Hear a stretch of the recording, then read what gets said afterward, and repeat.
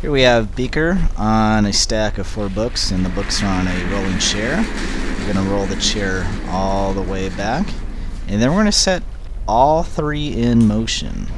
Watch what happens.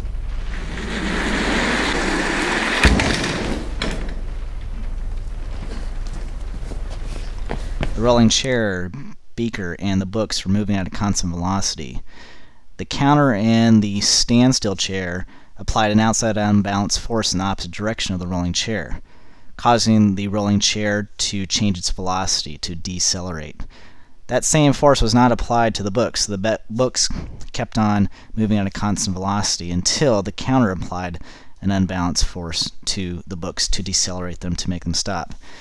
That same force was not applied to Beaker, and Beaker kept on going until it hit the um, sink and eventually went into the sink.